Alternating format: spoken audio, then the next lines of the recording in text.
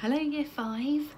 How cool was Chapter 5? Special guest appearance by the author of Cosmic himself. A special shout out to Pound Hill Junior School pupils. That is how special you are. I really hope you enjoyed that special mention. I hope you also enjoyed listening to Mr. Church read Chapter 6. Now it's my job to share with you Chapter 7, which is called I Am on Hold. I made the call on the bus to school the next day. I remember looking out of the window at all the people, queuing outside the post office, standing at the pedestrian crossing, going in and out of the 24 hour Tesco. None of them looked at me like they'd been especially selected. I was going to win. I dialed. The woman with the friendly voice answered right away. Drax Communications, do you want the opportunity to be the greatest dad ever? Yeah, I do, I really do. I was thinking about it all night. I talked for about a minute before I realised she was only a recording. If you accept the terms and conditions of this competition, please press the star key now. I did. We'll take your call as soon as we can. In the meantime, please hold. Remember, all you have to do is get put through. They started playing classical music. They were still playing when the bus pulled up at the school gates half an hour later. Every now and then the music would stop and the friendly voiced woman would say, Your call means a lot to us. Please hold. There must be a lot of people in the queue. Maybe Dad was right. Maybe I wasn't that special. I was walking in through the school gates when I got a text alert. We have our first winner. Yes, what's yes about that exactly? Our first winner is Klaus from Hamburg in Germany and his daughter Anna. Anna's two great passions are thrill rides and helping others, says her father. She once spent 12 hours on the Space Mountain roller coaster at Euro Disney in order to raise money for a local hospital. She hopes to get people to sponsor her to ride the rocket and so raise money for children who were injured in wars around the world. When her school friends heard about this, they wanted to help her.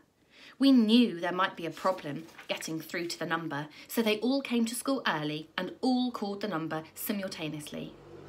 A boy got through and gave the phone to Anna immediately. She is a worthy winner. In other words, she cheated. I was still on hold during registration. Registration's a noisy business, so no one noticed the music. But first lesson was maths with Miss Jewel, and maths with Miss Jewel is always full of long silences. For instance, Miss Jewel, square root of 64. Class, long silence. Miss Jewel, anybody? Anybody at all? Class, more long silence. So this morning I tried to answer all her questions just to keep the noise level up and stop her noticing the phone. When she asked something about calculating the volume of a cylinder, I shouted, Miss, Miss! Liam, there's no need to shout, Miss, Miss, if no one else is offering to answer the question. There is no need to try and attract my attention if you have no competition. Oh, yes, Miss. Oh, anyway, Miss, it's pi times the... Thank you, Liam. I already know the answer. I already knew you... I already know you know the answer. I'm hoping to find out if anyone else knows the answer. Wayne probably knows, Miss. He's good at maths, Miss. But he doesn't always have the confidence to put his... Liam, I'm only too happy to hear your thoughts on geometry. I don't want your thoughts on your fellow pupils. Just going back to the volume of the cylinder, miss. Isn't it... Don't go back to it, Liam. Get Let someone else have a go. Yes, miss. So, volume of a cylinder. Anyone. Anyone at all. Long pause, but not silence. A tiny little orchestra fiddling away. She frowned. She prowled up and down. You could see that she thought it might be in the next room or in her head. Finally, she said, Can anyone hear music? Or are the angels finally coming to carry me away? I laughed at this, probably too loudly and definitely too long.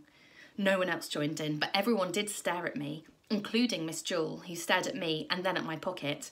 It's Holst, isn't it? she said. I said, No, miss, it's me.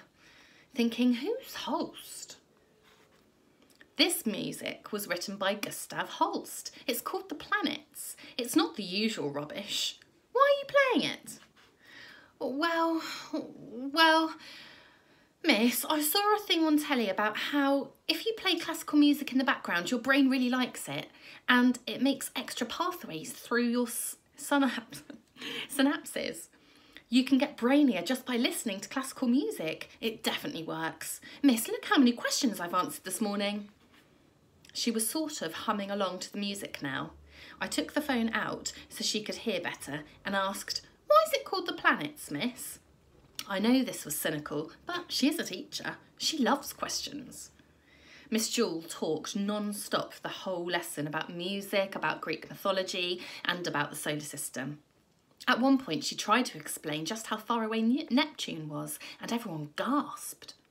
And then she said, and it's near a neighbour compared to the stars.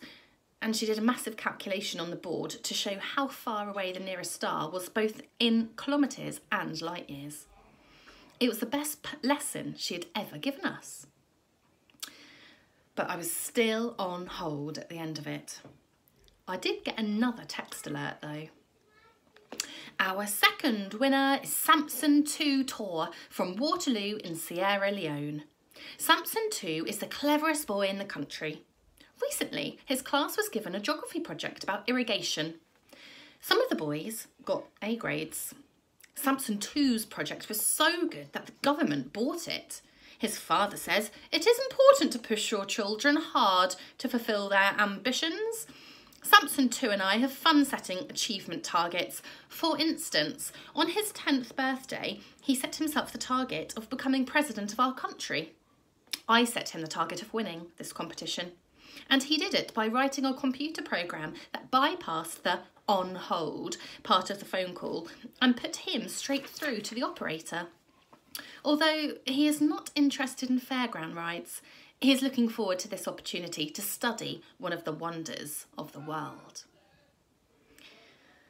I'm sorry, but if you already live in Waterloo in Sierra, and Lo Sierra Leone, instead of the Waterloo near Bootle, then you really don't need to go and see the wonders of the world because you already are one of the wonders of the world. You've got jungles and rivers, and instead of gasometers and bypasses, it's like the Grand Canyon wanting to come and look at the crack in my bedroom ceiling.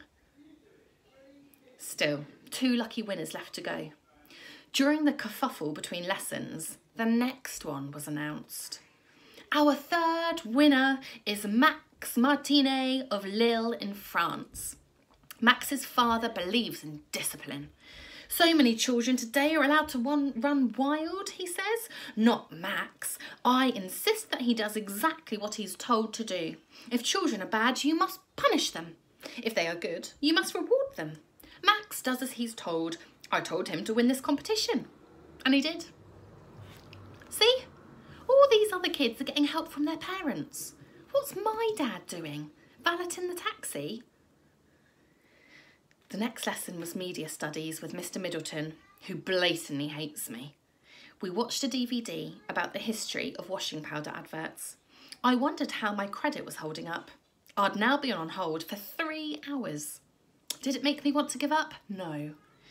What made me want to give up was the next text message. There were only going to be four winners in the competition, and this was the fourth. We have a new winner, Hassan Igzandu from Bosnia.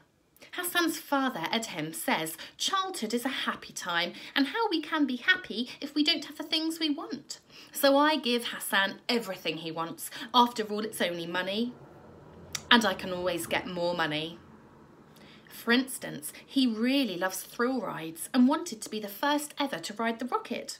So I found the number of the girl who won it for charity. I phoned her and I offered to give the charity twice as much money as she could raise with sponsors. Simple. Everyone has their price.